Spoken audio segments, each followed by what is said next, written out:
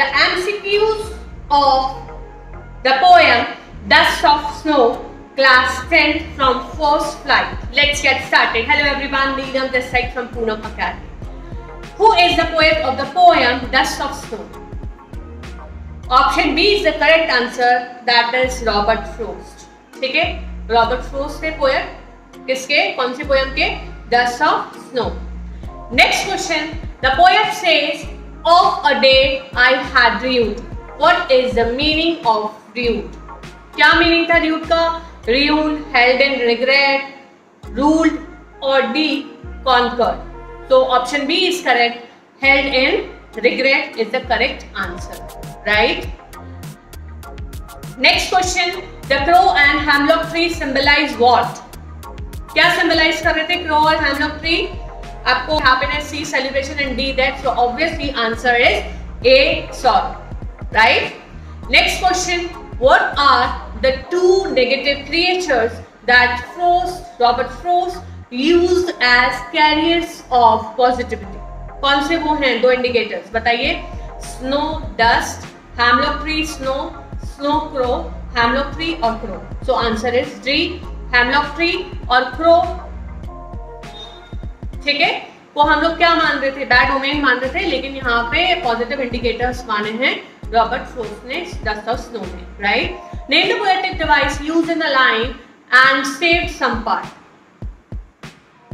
जल्दी बताइए any guesses alliteration metaphor oxymoron और simile so answer is A alliteration right name the poetic device use in the line has given my heart कौन सा poetic device use हुआ है इसमें? Option A alliteration, option B metaphor, option C oxymoron and option D simile.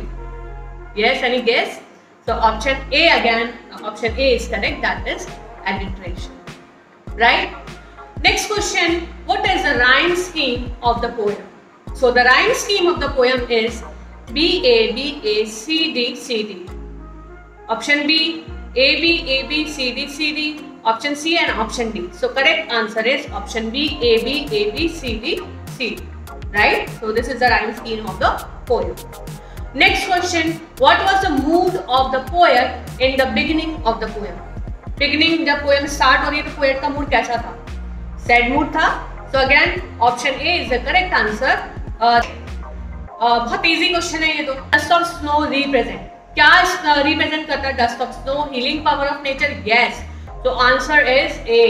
Healing power of nature. कैसे snow उनके ऊपर गिरती है और कैसे वो अपने thought से aware हो जाते हैं. ठीक है?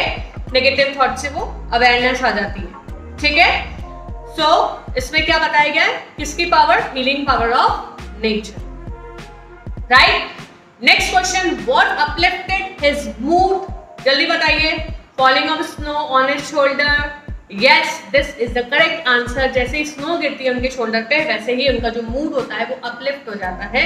नेगेटिविटी से वो पॉजिटिविटी की तरफ़ आ जाते हैं। राइट तो option A is the correct answer for this question right next question why does the poet call it dust of snow क्यों बोला अभी पोएट ने dust of snow because A option snow particles were too tiny. Yes. Again, this is the correct answer option A.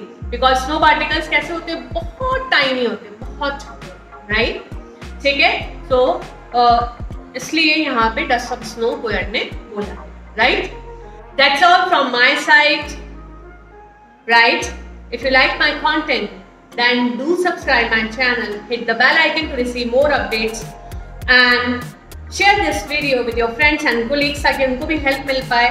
Term one में वो भी full marks score कर पाए। I wish you all the best for your exams and I humbly request you to please support my channel ताकि मेरे को भी motivation मिले और मैं आपके लिए और वीडियोज़ लाती रहूँ। Thank you for watching.